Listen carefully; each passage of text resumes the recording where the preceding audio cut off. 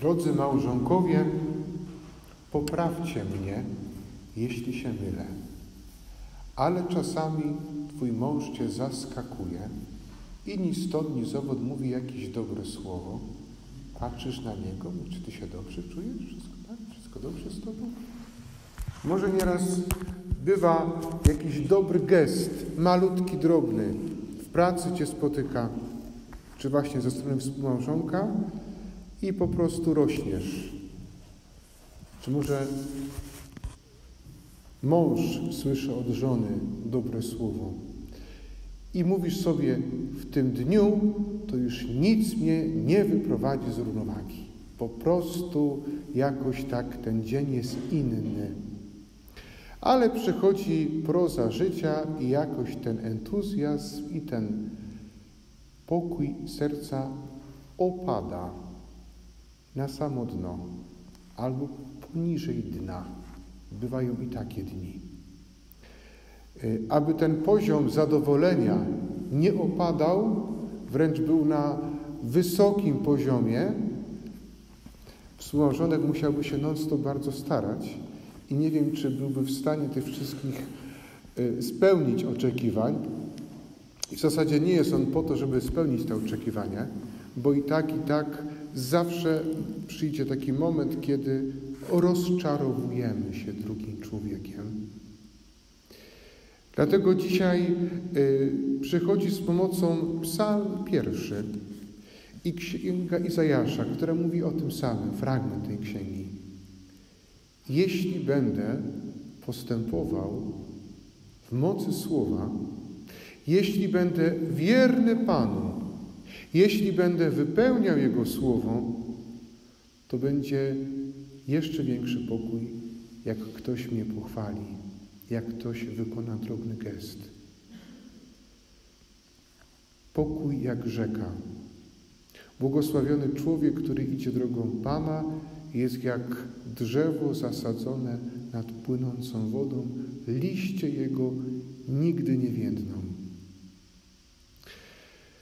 A że życie to nie bajka i że w małżeństwie różnie bywa, niektórzy złośliwcy mówią, dlaczego kobiety żyją dłużej od mężczyzn. I widzę po uśmiechu, że niektórzy znają odpowiedź.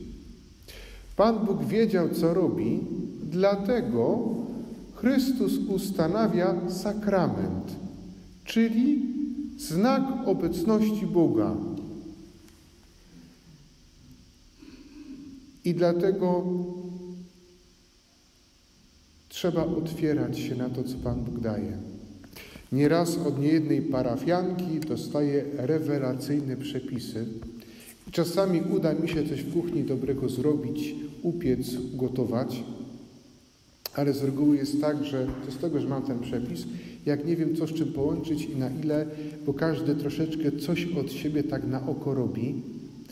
I kiedy raz, drugi, trzeci spróbowałem przy pomocy innych, wtedy pewne dania już tak naprawdę, jak to mówi się, jak każda kobieta, na oko i zrobię. Nie muszę zaglądać w przepis. Nie wystarczy mieć przepis, trzeba umieć jakoś to wszystko zrobić. I te przepisy codziennie Bóg nam daje w mocy słowa. Trzeba podejmować konkretny wysiłek, o którym dobrze wiecie. I pewnie kiedy dzieci wyfrunęły z gniazda lub ostatnie niebawem wylecą albo wylecieć nie mogą, wtedy y, niejako druga młodość następuje i przychodzą kryzysy, i przychodzą radości, i jest to okazja do tego, żeby jeszcze bardziej zatęsknić za sobą i żeby odkryć tą głębię. Dlatego też sakrament. Sakrament, który ma być umacniany innym sakramentem. Wczoraj delikatnie powiedzieliśmy sobie o spowiedzi świętej, a dzisiaj tutaj Eucharystia.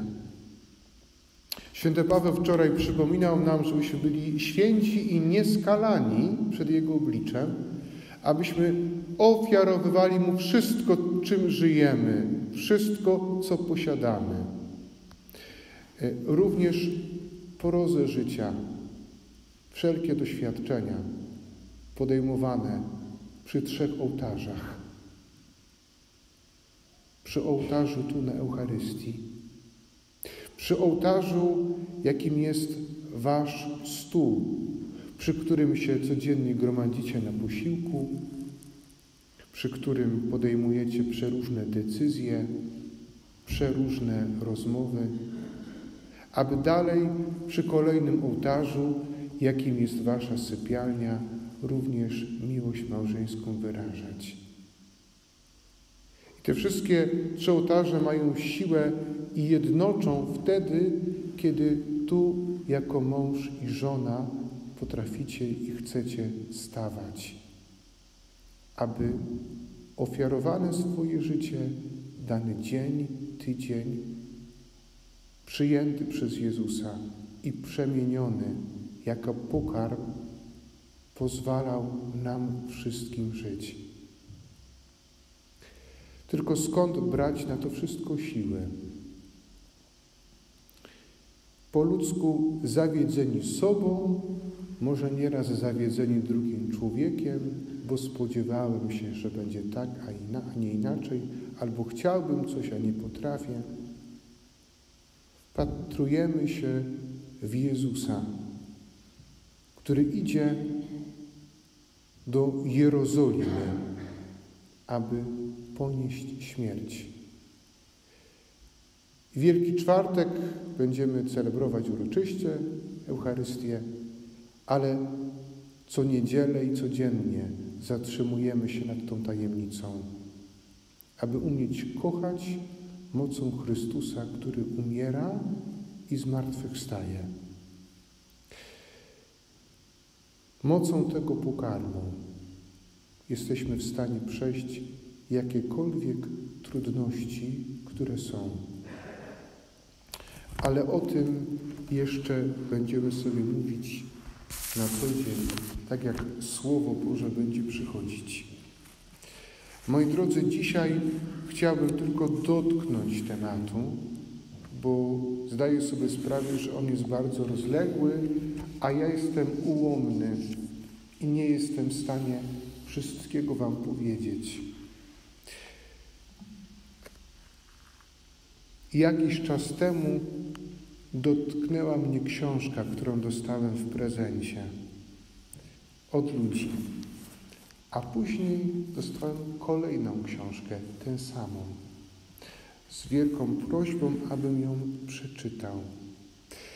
I ta książka, choć celebruje Eucharystię codziennie, codziennie trzymam święte postacie i o zgrozo może być taki moment, że człowiek przyzwyczai się do tego. Podobnie, kiedy przyzwyczajamy się do obecności drugiego człowieka obok, a kiedy nagle go zabraknie, uświadamiamy sobie, kim dla nas był, jaką był wartością. Pan Jezus mówił do serca pewnego mnicha,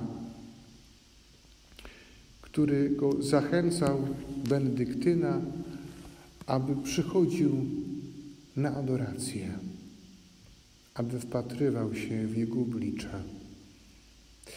Te słowa były kierowane i są kierowane nie tylko do owego wspomnianego Benedyktyna, ale do każdego z nas.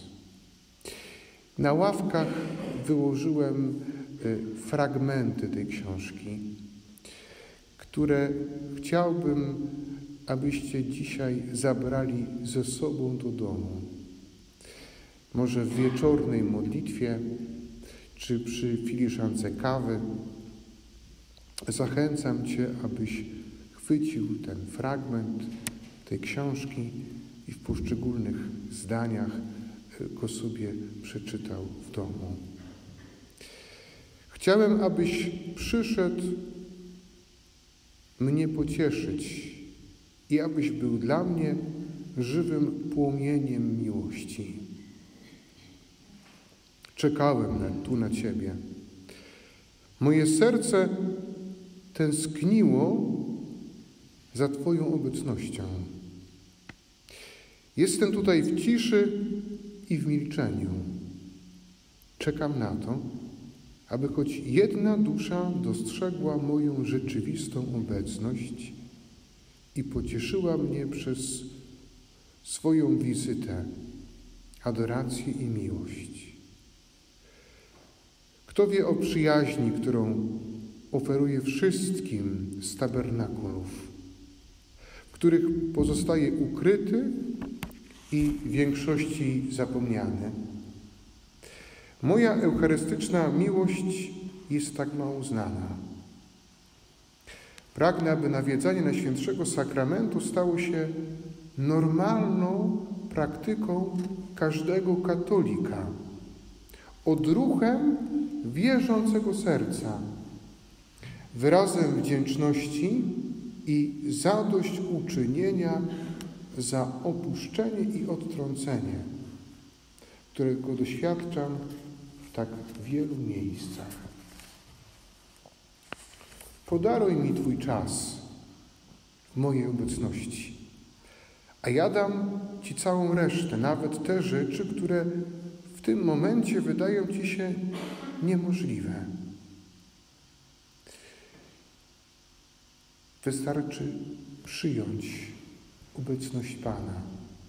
Nie wystarczy być bardzo dobrym człowiekiem, spełniać jakieś standardy, zasłużyć sobie na miłość Pana Boga i wtedy będę mógł do Niego przyjść.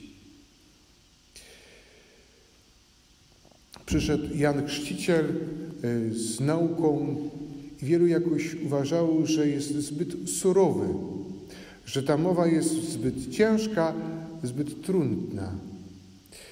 Przychodzi Jezus i również jest niezrozumiany. Czasem Pan Bóg daje mi e, doświadczać tego, jak jest na co dzień w rodzinie, bo ksiądz tylko przyjdzie na parę minut, parę chwil, a później proza życia jest jaka jest. I bywa czasem tak, że dziecko płacze, bo dziecko już miało dosyć wrażeń, bo powinno iść spać, ale jakoś nie spało i później jest marudne. I chodzi po domu i rodzice proszą, mówią coś, a dziecko małe po prostu płacze. Nic nie pomaga. Ani zabawa, ani dobre słowo, ani prośba. Dziecko chodzi rozkapryszone i nie wie właściwie, e, czego chce. I myślę, że rodzice doskonale pamiętacie, albo może wnuki teraz pokazują to, i nieraz okazuje się, że tak jak mówi dzisiejsze słowo, przypominamy takie dzieci, które nie wiedzą, czego chcą, e, nie chcą nic w swoim życiu zmienić, albo wiedzą wszystko najlepiej. I to bez względu na to, jaki wiek posiadamy. Przypominamy nieraz takie dzieci. E, Wielu widziało cuda Jezusa i nic sobie z tego ci ludzie nie robili. Wielu wracało czasem do Jana Chrzciciela, bo uważali, że jednak to jest ta droga. A jeszcze inni szli drogą faryzeuszów i uczonych w piśmie, bo nie chcieli nic w swoim życiu zmienić. Czasem mówimy jutro później, nie teraz. Dla Jezusa ważne jest to dzisiaj, to tu i teraz, aby dzisiaj przyjąć Jego Słowo, dzisiaj wyruszyć z Nim. Bóg, kochający Ojciec, nieustannie wychodził przez Jezusa chodził drogami Kafarnaum, Jerozolimy, wychodził na wszelkie góry i niziny, posługiwał się dziwakiem Janem Chrzcicielem, przechodzi przez nasze miejscowości, nasze, nasze wsie, szkoły, ulice. I jest obecny tam, gdzie dwóch lub trzech gromadzi się w Jego imię jest obecny w osobie prezbitera, który łamie teraz słowo, który za chwilę będzie podnosił święte postacie, abyśmy Jego osobą się nakarmili. Którą drogą w życiu chcę pójść?